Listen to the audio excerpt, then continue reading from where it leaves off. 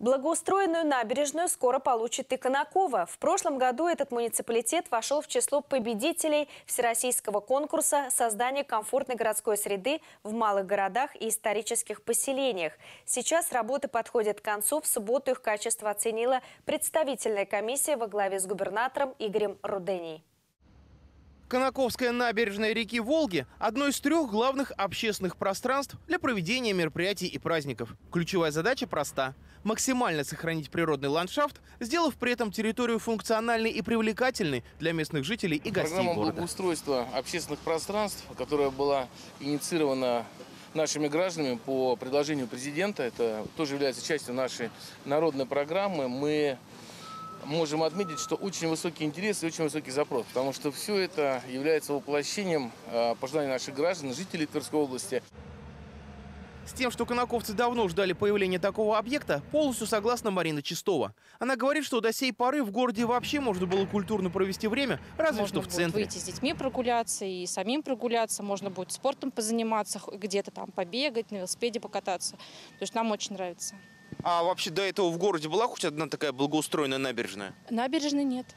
Не было набережной, был, ну, не очень, конечно, хороший пляж, благоустроенный. И все, больше ничего не было. Проектом предусмотрено создание семейной, парковой, спортивной и сценической зон. Обустраиваются пешеходные и велодорожки. В ближайшее время будет установлено 100 малых архитектурных форм, парковых скамеек, урн и так далее. Кроме того, оборудуют освещение и видеонаблюдение. В настоящее время готовность объекта составляет 80%. Тем не менее, люди приходят отдохнуть сюда уже Жители сейчас. города приходят сюда семьями, проводят э, здесь время, организуют пикники. И мне кажется, вот эта среда, которая формирует э, такую атмосферу, да, вот э, комфорта, э, дружелюбия, э, здесь точно будут собираться и семьи, и наши подростки, и молодежь, э, и заниматься спортом, вместе общаться.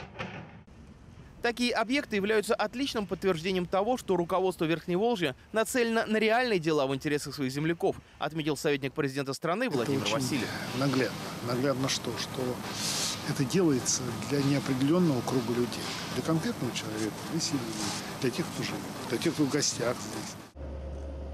В 2020 году Верхнее Волжье стало одним из регионов-лидеров по числу проектов-победителей Всероссийского конкурса создания комфортной городской среды. Работы ведутся в Конакове, Бежеске, Колязне, Осташкове, Нелидове и Торопце. В нынешнем году победителями признаны еще пять муниципалитетов Тверской области – Кашин, Кимры, Удомля, Вышневолочок и Ржев.